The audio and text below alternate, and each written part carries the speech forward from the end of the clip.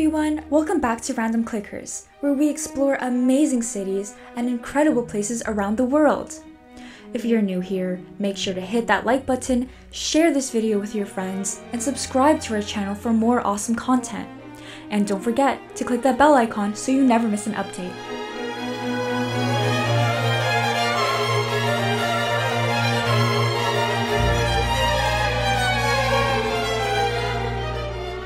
Our trip starts in Distrand.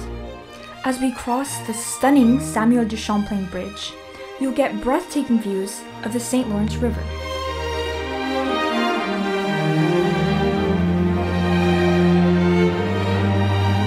On the topic of the new Samuel de Champlain Bridge, this bridge, opened in 2019, is not only an architectural masterpiece, but also one of the busiest crossings in Canada, providing breathtaking views of the St. Lawrence River.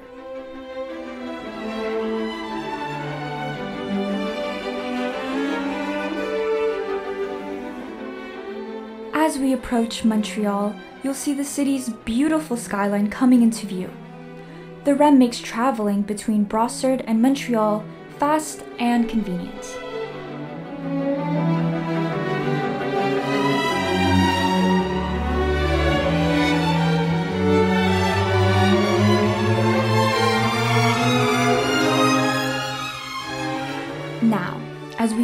Downtown Montreal, the vibrant heart of the city, you'll notice the blend of historic charm and modern sophistication that makes the city so unique.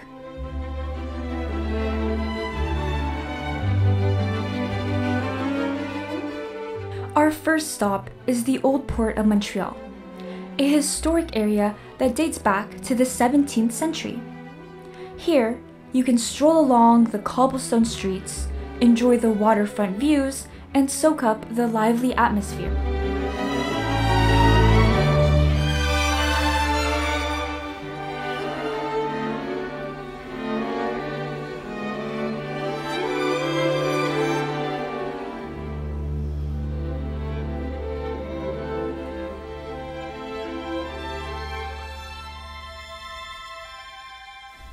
La Grande Roue de Montréal, standing at an impressive 60 meters tall, is the tallest observation wheel in Canada. Opened in 2017, this magnificent structure offers breathtaking views of the cityscape, the St. Lawrence River, and beyond.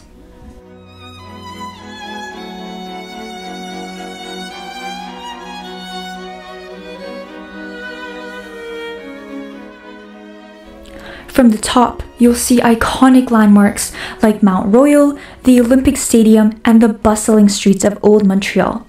It's a photographer's dream come true.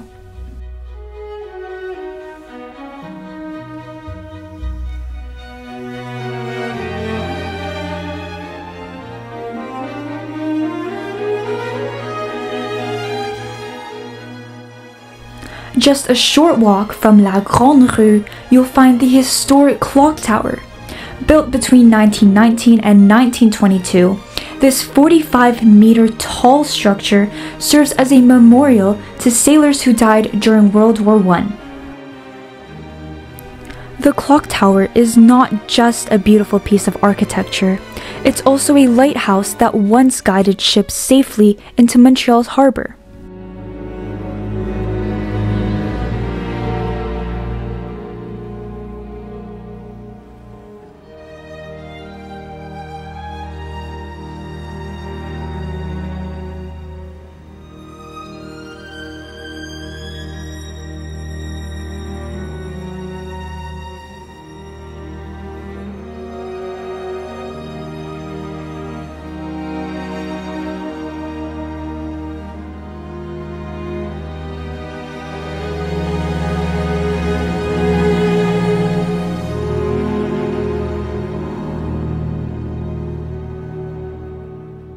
Next, we head up to Mount Royal, the iconic mountain that gives the city its name. From the top, you get a spectacular view of Montreal's skyline, a perfect spot for photos and to appreciate the city's beauty.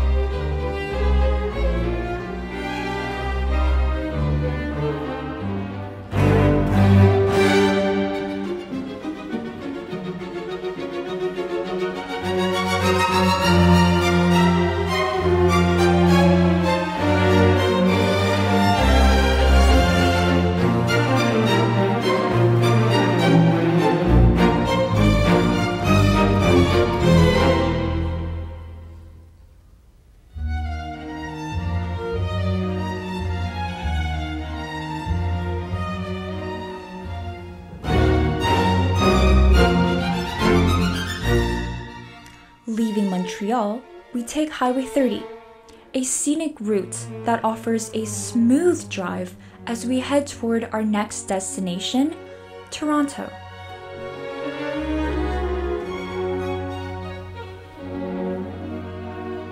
As we approach Toronto, we join Highway 401, one of the busiest highways in North America. This major artery stretches across southern Ontario, connecting many cities and towns.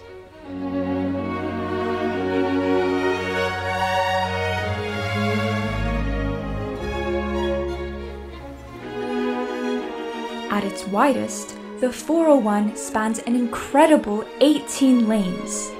Known for its heavy traffic, it's a vital route for commuters and travelers alike.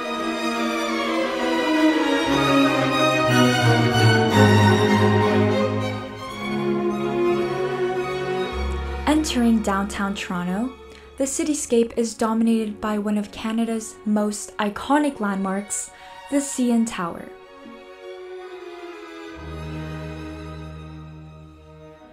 Standing at 553.3 meters, or 1,815 feet, the CN Tower was the world's tallest freestanding structure for 32 years.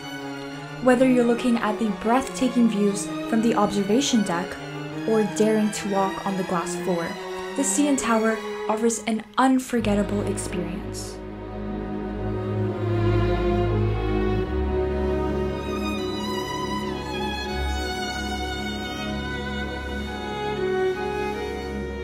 Just a short walk from the CN Tower is the Toronto Railway Museum, a hidden gem for history enthusiasts and train lovers alike.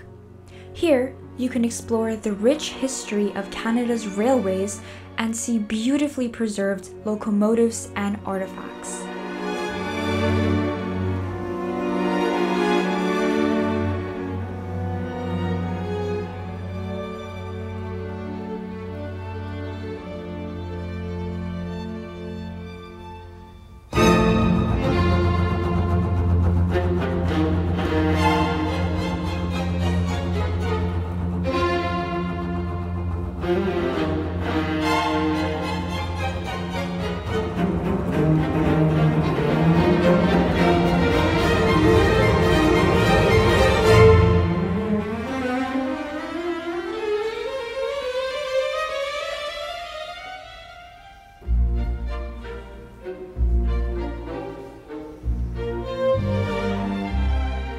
Our visit to downtown Toronto comes to an end, we head out of the city via the Gardiner Expressway. This scenic route offers stunning views of the waterfront and the Toronto skyline, making it a perfect way to conclude our journey.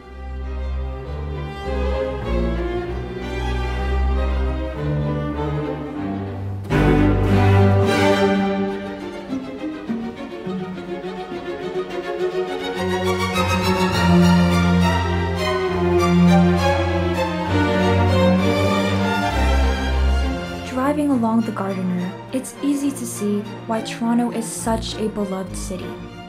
From its iconic landmarks to its bustling streets, Toronto is a city that never ceases to amaze.